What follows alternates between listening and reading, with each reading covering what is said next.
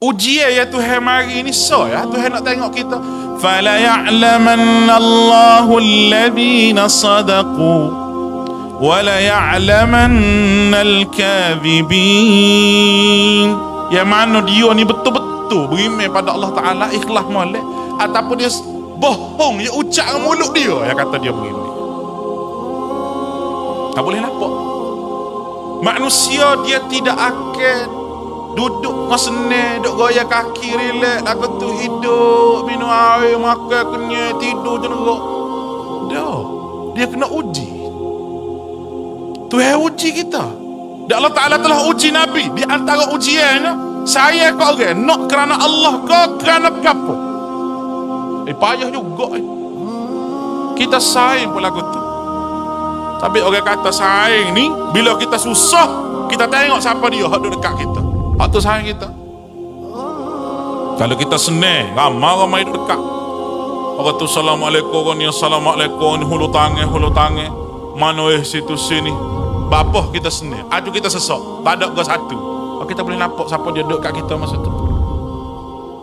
Siapa dia yang nak bina semangat kita kalau tangan kita susah. Waktu sahabat kita.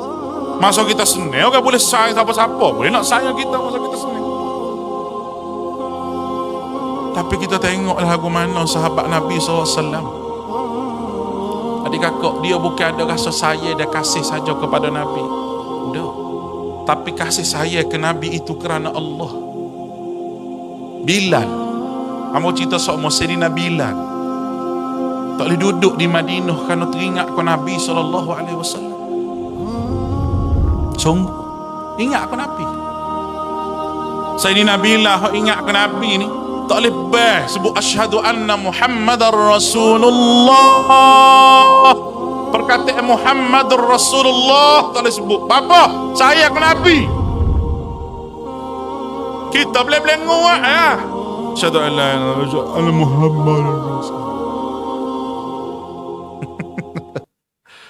Mahabbah Nabi tak ada. Mari sekupulan pula kita nak kena saya ke Nabi cara lagu mana? Oh cara saya ke Nabi-nya Bukan kita kata saya ke Nabi ikut hadis Nabi. Tapi saya ke Nabi dengan dengan berjoget. Joget. Sehari dua ni duduk mari berjoget di kubur di Malaysia. Kubur tak kenali. Kenal tak kenali dia? Ada dua tiga empat orang duduk berjoget. Berzikir sambil berjoget. Eh mu biar betul nak berzikir ke nak berjoget? Kalau mu nak berdecok Decok. Kalau nak berzikir Berzikir lain tu. Orang tak capur pedecok dengan berzikir. Kau nak marah ni?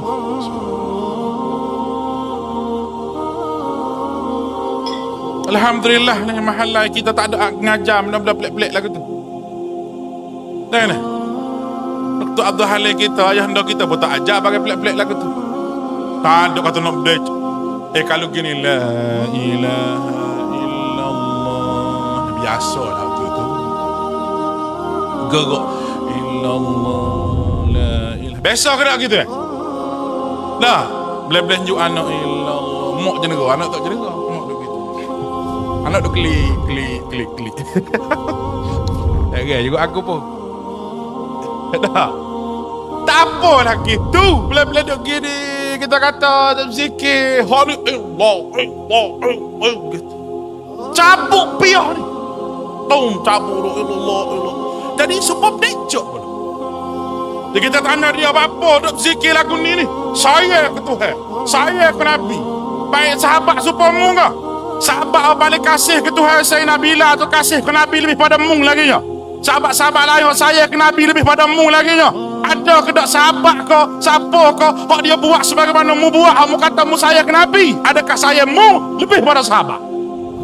Tak jawab. Kalau mu tak jawab, mu belanja duri aku biar aku makan pakai duit sebab tu panahan ini. Ah, jawab soalan ni dulu ni. Amba tidak nak balas ngorang, eh? cuma kecek jenis bahasa lagu tu nak buat lagu mana? Bukan jenis nak balas ngorang tapi nak tanya, dia mau terus jawab.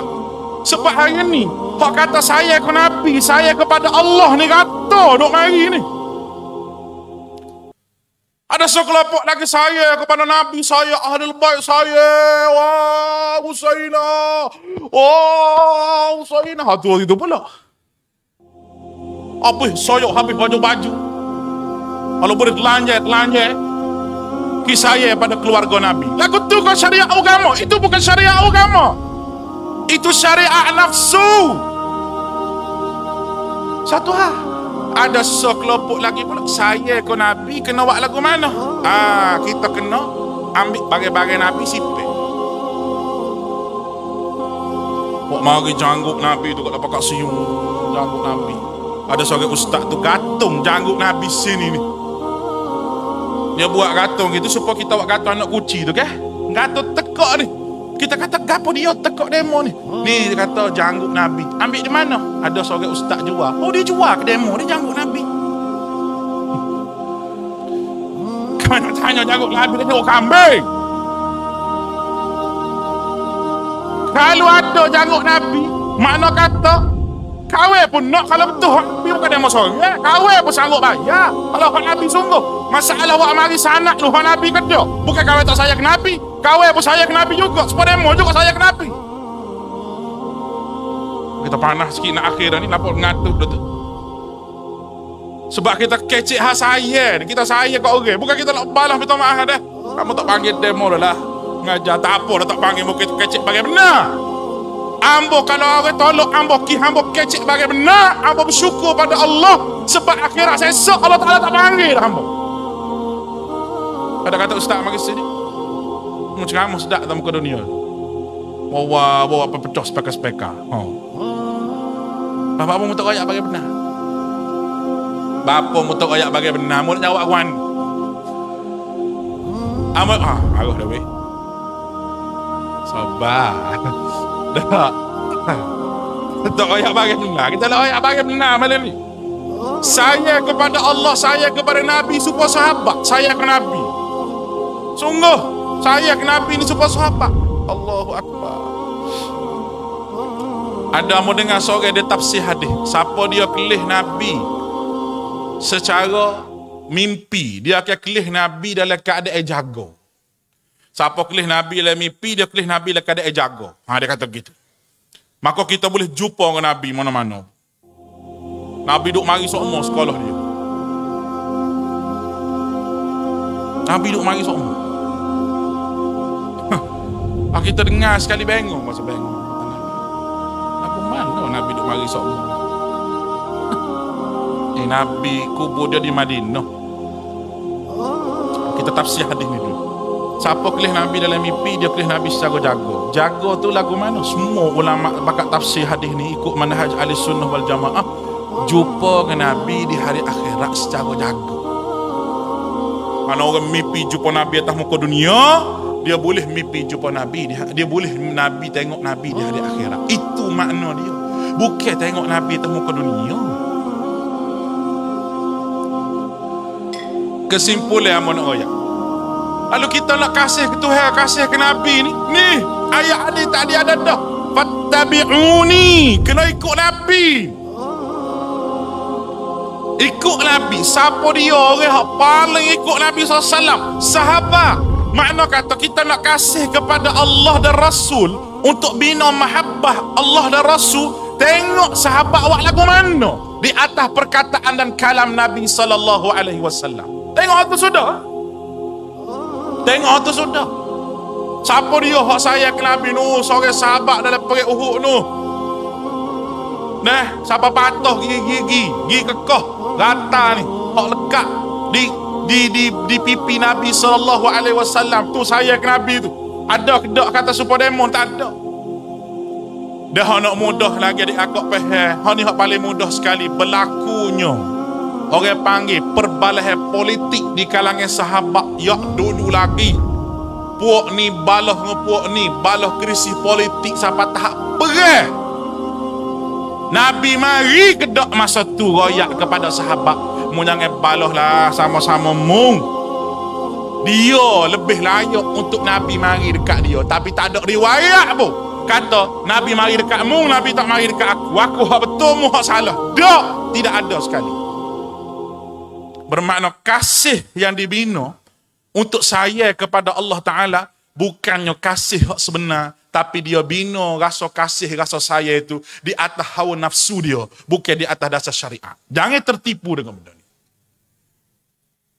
Syekh Muhsin Al-Badr, ulama Saudi besar, dia tulis satu kitab.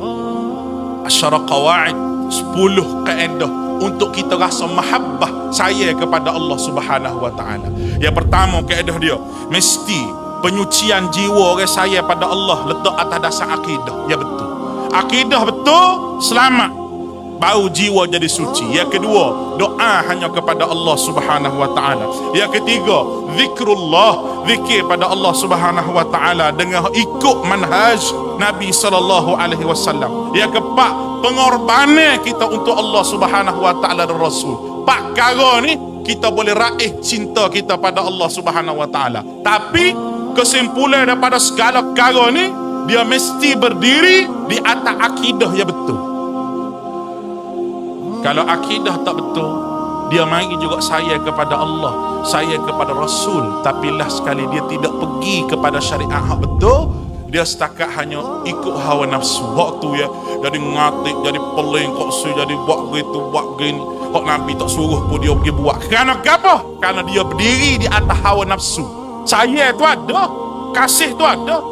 Amba sebut tadi, orang hak puja, orang orang panggil puak-puak ni ni lah, puak-puak ni lah. Puak-puak sambut Asyura apa semua. Bobok ni saya kena Nabi lebih pada kita. Teriak dia cerita sejarah. Dibunuh apa ni Sayyidina Hasan, Sayyidina Husin. Tapi apa yang jadi kepada dia? Dia bukan satu manhaj yang betul. Dia bukan satu perkara yang betul. Kerana dia dia letak hawa nafsu dia itu. Cinta dia itu di atas hawa nafsu. Bukan di atas Allah dan Rasul. Ni kita kena perhati. Ngalai mata sama ngalai mata. Dia baca Quran sedap pada kita. Qori daripada negara hak mazhab ni ni, hak daripada puak ni ni. Mai ngaji di Malaysia baru ni baca Quran sedap pada kita, kita dengar. Tapi dia baca Quran hanya di kerongkung dia saja. Duduk sini ya tak sapa ke lubuk hati dia. Kerana dia dasar akidah dia tidak betul. Hak tu hak paling penting sekali. Dia untuk akhirnya pada hari ini marilah sama-sama kita tanamkan jiwa kita untuk kita sanggup berkorban apa sahaja jika orang buat jahanam kepada agama kita ini.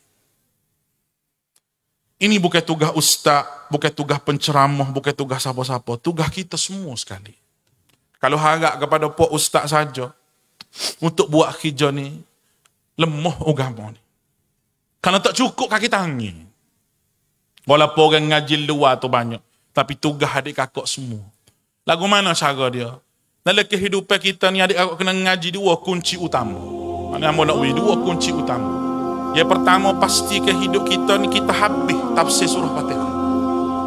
Biar kita faham molek di atas perkataan iya kana abudu wa iya kana stam. Yang keduanya kita kena habis ngaji hadis 40. Hadis ni beribu-ribu tapi 40 hadis ini adalah kunci untuk kita memahami syariat agama kita. Kalau kita boleh buat daurah buat kita, daurah hadis 40 so, lepas tu daurah surah Fatihah so, dalam masa seminggu ke, tiga hari ke, sehari ke kita buat, insya Allah kita boleh tengok lagu mana masyarakat kita, masyarakat kita akan balik kepada Islam yang betul. Alhamdulillah untuk akhirnya Kerajaan Malaysia telah pun keluar satu surat untuk mengajar hadis 40 dalam sekolah-sekolah seluruh Malaysia di menteri hak baru ni alhamdulillah buat keluar. Ada orang marah? Ada. Siapa dia hak marah? Puak-puak hak bukan Islam. Dia tak faham bukan kita nak mengajar anak. Iya kita nak mengajar anak orang Islam.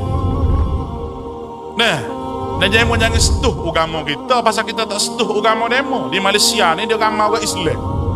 Puak dia nak buat apa kita tak pasal marah. Puak dia duk sambut hari gotu tu eh Eh aku Hindu hari Taipusam. Biasa dengar tu. Cocok tubuh dia tu kan.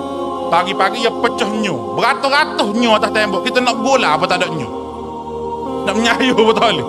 Kita tak biasa marah apa ke dia. Musim tu nyu mahal habis. Kita tak biasa marah. Ini adalah untuk orang Islam. Bila menteri kata, ni untuk orang Islam Alhamdulillah. Jadi kita nak adik akak semua pun buat juga. Masjid ke surah ke, biar kita dua kara. Satu surah Fatihah. Ambil masa nejer. Amo ke besok buat masa neje sehari Buat tiga sesi, dua jam, dua jam, dua jam. Biar faham molek surah Fatihah. Yang kedua, masa sehari juga. Kita nak mengaji hadis 40 dalam masa sehari. InsyaAllah surah Fatihah 40 hadis ini sebagai kunci untuk kita memahami agama. Kita akan tengok perubahan masyarakat kita lagu mana. Aku qawli hadha. Wa astaghfirullahalazim li wa fawwidu amri ila Allah. Inna Allah basirun bil ibad. Jangan lupa dah janji kita tu hak paling besar kali buh dalam sementara balik lagi. السلام عليكم ورحمة الله وبركاته.